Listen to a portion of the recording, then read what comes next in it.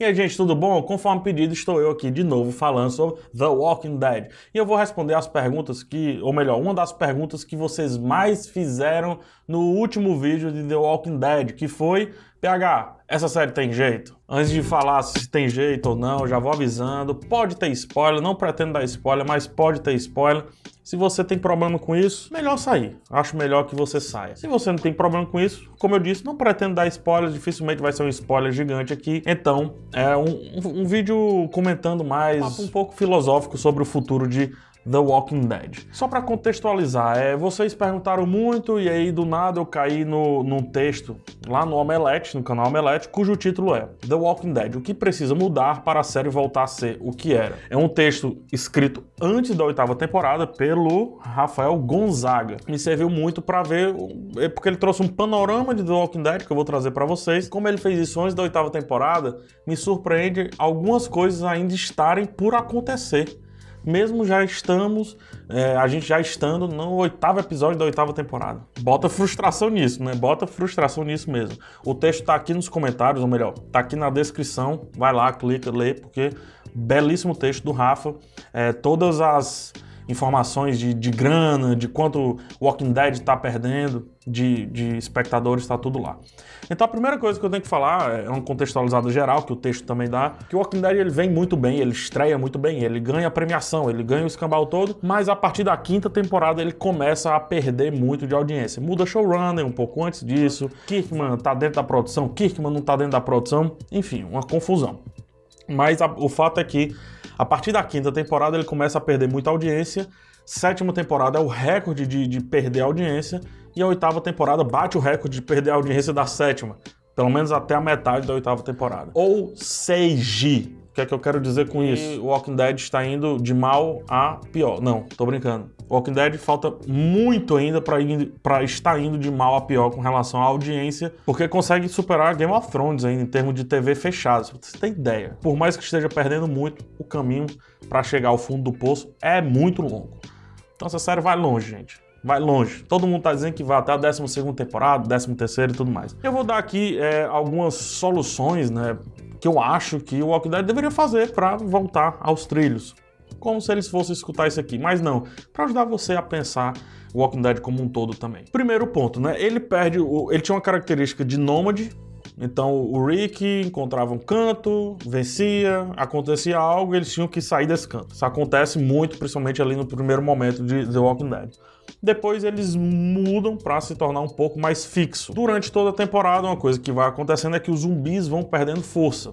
Por mais que a série se chame The Walking Dead, zumbis vão ficando cada vez mais de background. O texto do Rafa ele até fala, cara, antes zumbi sozinho matava, surpreendentemente inclusive. O personagem abria a porta do ônibus bufo, o zumbi tava lá, morreu. Porque realmente tem que ser assim, o... por que, é que os zumbis têm que estar 100% agrupados? O Walking Dead muda bastante isso ao longo das temporadas. Hoje, zumbi é um negócio que só funciona num agrupamento muito forte e eles são mais utilizados do, como arma do que como, vilania mesmo, né? Olha só como mudou a ideia do zumbi. Eu acho que tem que voltar um pouquinho para a origem nesse sentido. Mas o, o gene zumbi, o, o, gene que dá problema, a infestação, seja o que for, precisa sofrer uma mutação para deixar os zumbis um pouquinho mais overpower. Jorge Romero passou por isso e olha como melhorou a obra dele como um todo, né? É, ajudou a discutir mais metáforas do lance do consumismo e tudo mais. Outra solução é ganhar velocidade. Quando o Walking Dead passa a ter 16 episódios por temporada, a velocidade cai drasticamente. Muda showrun, a velocidade cai drasticamente. Eu não estou dizendo que necessariamente velocidade é, é algo que, que é benéfico para séries, não. Tem grandes séries que são extremamente lentas, mas são fantásticas. Elias Grace esse ano, Mind Hunter esse ano. A questão é que quando você não, não tenta mais explorar os seus personagens a fundo, no papo, na conversa, para que lentidão? Uma lentidão pela lentidão só, que é o que está acontecendo em alguns episódios, em vários episódios de The Walking Dead. Se o lance é guerra, é tiro, porrada, bomba, etc., pega a velocidade, cara. Vai desce a ladeira na banguela. Outra solução é uma diminuição drástica do grupo. Um fato que está acontecendo. No primeiro, na primeira temporada a gente tinha grupos, três núcleos muito bem organizados. E isso aí a gente conseguia entender o todo, o todo desses núcleos específicos. Aí foi ganhando personagem, foi ganhando, foi saindo, foi ganhando, foi saindo. Teve uma fase muito boa quando o, gru o grupo se, é, se reduziu muito e eu acho que essa redução, essa grande redução precisa acontecer. Hoje o negócio tá megalomaníaco, tá gigante. Isso para quê? Para testar personagens com o público, para ver se o público vai gostar de personagem A, B ou C. Aí o, o, público gosta um pouquinho e o Walking Dead não consegue mais se desgarrar desse personagem. Acho que diminuir drasticamente o grupo. Voltando com o nomandismo, ou seja, esquecendo esse lance de ser fixo num ponto, pode também dar um novo fôlego. E aí, alinhando isso à velocidade, já é um mais um upgrade. Próximo ponto é variação de plot. No começo, Walking Dead era o lance de, de, de zumbi, não sei o que, aí teve o plot com o Shane, depois se tornou é, tanto uma, uma, uma discussão interna de grupo como externa com relação às novas comunidades.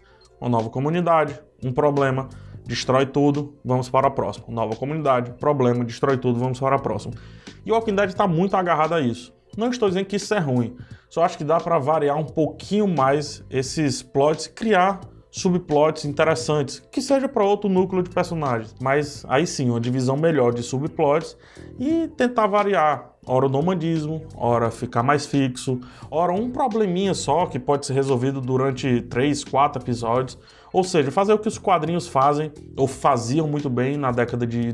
principalmente final da década de 80, que é os personagens estão estabelecidos, não iremos mudar, então vamos criar pequenos problemas ao longo de toda a história. Né?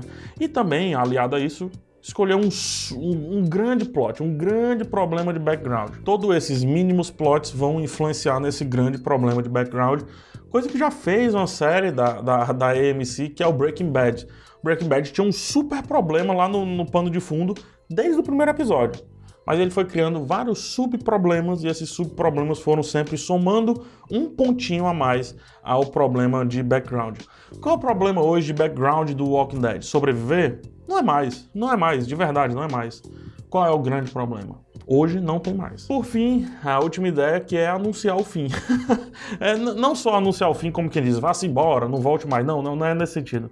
É anunciar o fim no sentido de cara, vamos até o décimo episódio, ou vamos até a décima temporada. E daí sim, tudo isso que eu falei vai vir. Quando você anuncia o fim, quando você coloca aqui, vamos até a décima primeira temporada, vamos até a décima segunda, seja o que for, cara, tudo melhora. Olha o que aconteceu com Game of Thrones, ganhou tudo isso que eu falei aqui. Então, quando o fim tá próximo, as histórias começam a se entrelaçar mais, o grupo vai diminuindo, o problema central de background, né?